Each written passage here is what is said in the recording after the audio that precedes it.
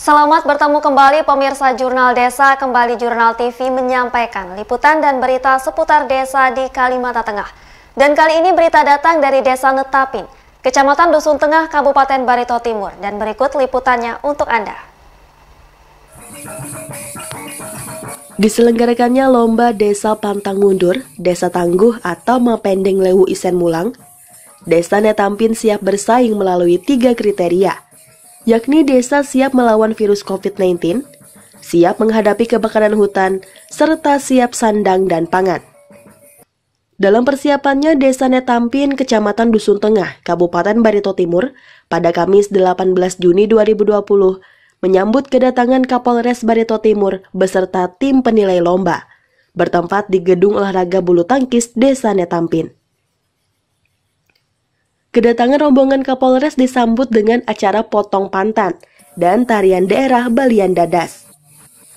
Kapolres Barito Timur AKBP Hafid Susilo Herlambang SIK mengatakan kunjungan ini adalah untuk mengadakan penilaian lomba yang diadakan oleh Polda Kalimantan Tengah yang nantinya desa ini dapat mewakili Kabupaten Barito Timur dalam lomba Desa Pantang Mundur.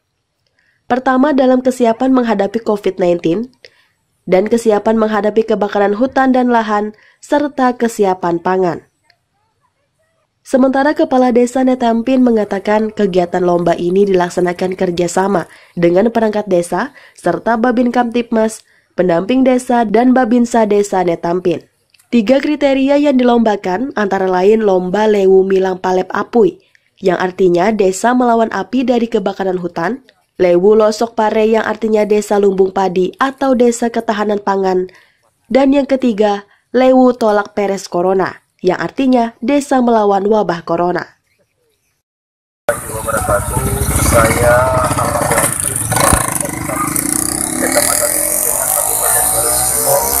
pada hari ini telah dilaksanakan penilaian lomba Mempendeng Lewu Semulang oleh Kapolres Bertu Timur dan rombongan dan untuk kegiatan lomba tersebut, pemerintah desa Netampin bekerja sama dengan Babinsa dan Babinsa Tipas mempersiapkan tiga kriteria yang dilombakan. Satu, lewu milang atau pelet apui. Dua, lewu losok parai. Tiga, lewu tolak peres corona. Dari Barito Timur, Haji Suryansyah, Ahmad Farizali, Jurnal TV.